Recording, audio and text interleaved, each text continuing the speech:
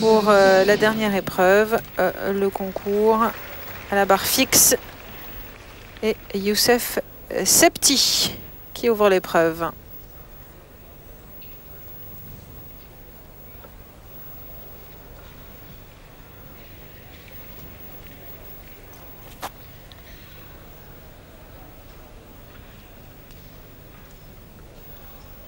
d'air tout complet.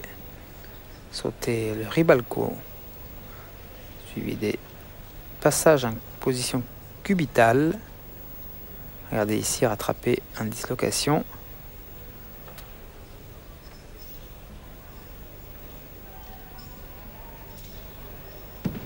Et une belle sortie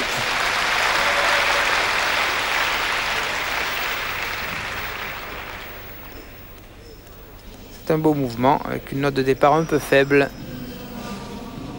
Travail est propre, bien réalisé par le jeune Algérien. Regardez ici le sauter, rattrapé en position cubitale.